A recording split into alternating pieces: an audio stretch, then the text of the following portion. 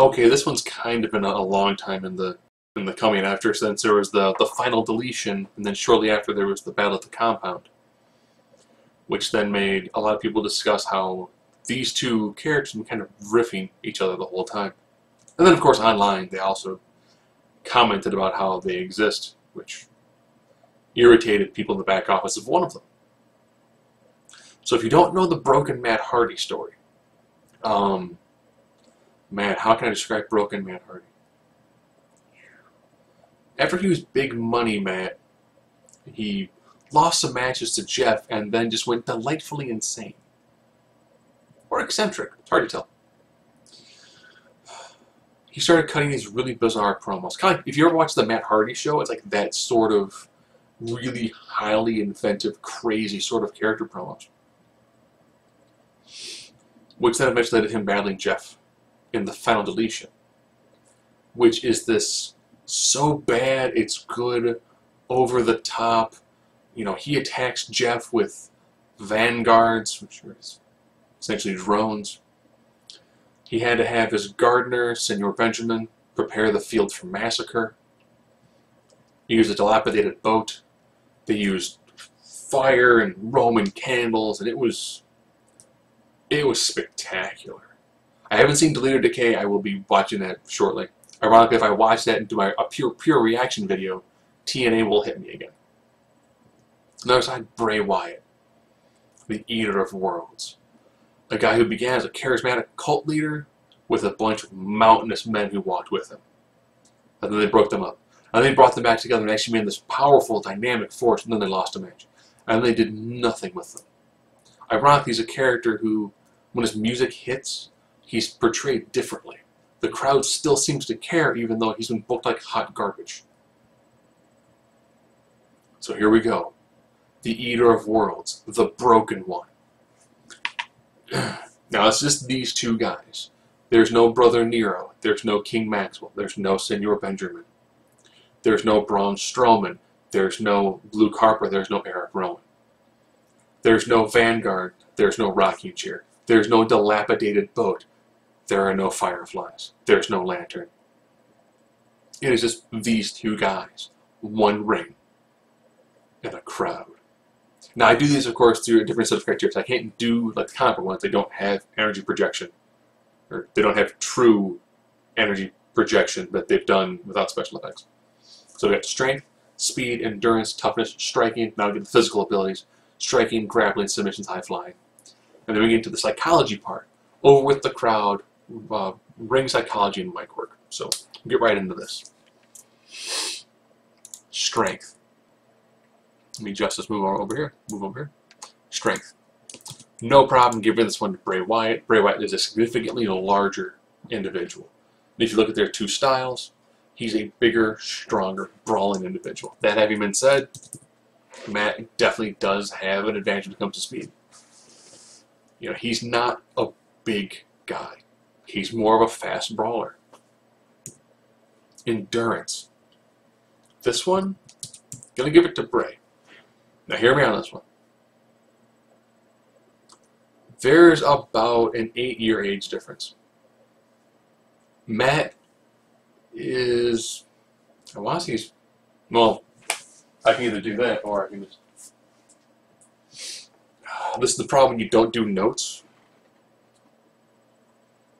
That you're kind of stuck having to actually look some stuff up on the fly. Initially I thought I had this memorized, ended up being that I did not. So, not a problem. Again, I do this as a live feed.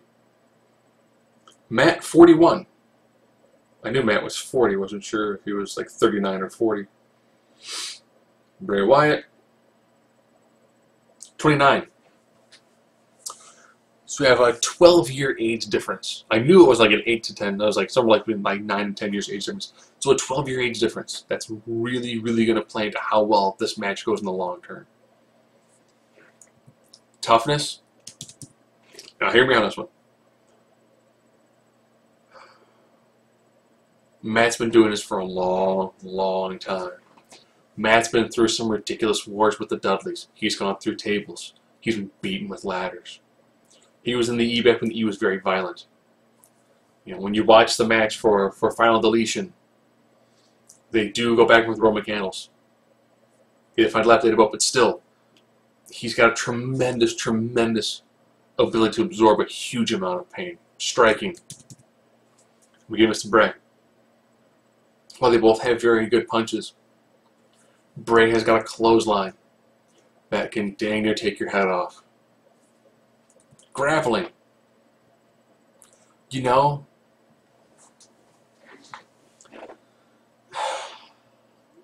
neither they really do anything in the way of grappling. You know, you don't see anything more than like you know, standard suplexes. Bray no longer does his his uh, his suplex into a standing like a scoop slam. He doesn't do that anymore. The closest thing I got for Matt Hardy would be like the side effect. Both of them are, I would say for this one, they're actually pretty equal. So we will go with Wise. Submissions. They don't use any. High flying. That's Matt. Matt leaves his feet. Bray does not. Over with the crowd. Mmm.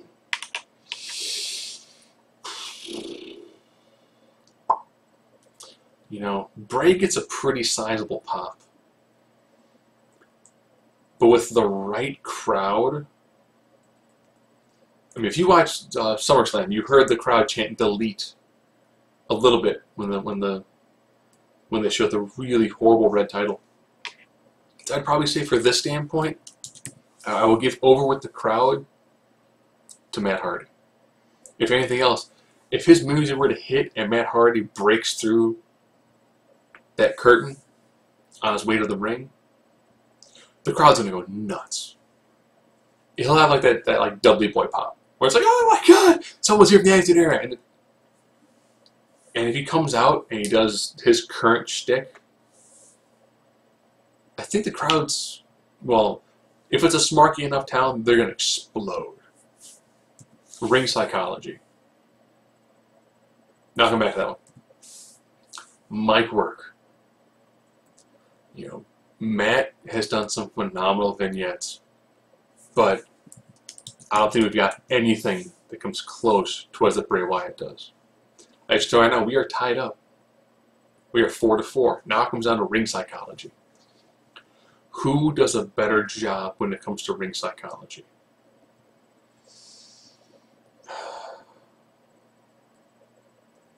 Man.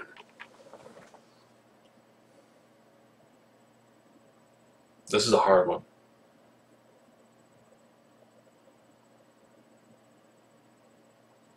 Broken Matt now is a really, really strong dynamic character. And he's biting people now, too.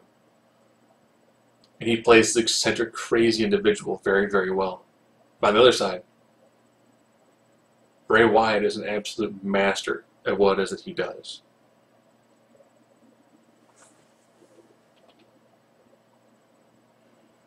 I think my opinion works well enough, so I will actually give it to, to Bray, and here's why.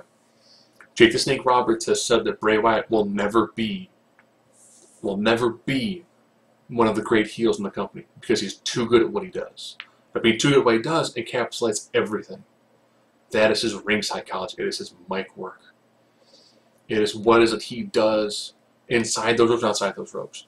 His character is virtually perfect and so unique. Just the E has no idea what to do with them.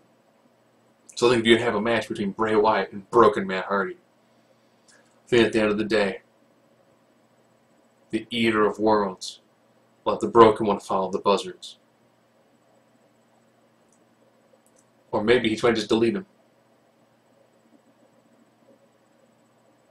And have his buzzards destroy the battlefield. So out of those two, that's what I gotta go with. I think that Bray has an advantage when it comes to his, his current style. He's got 12 years of by not being as beaten up. And his character is hit a point where it's he doesn't need titles. He's been booked like garbage, but he's still over. And he still comes off like a threat. Regardless of how horribly he's been booked.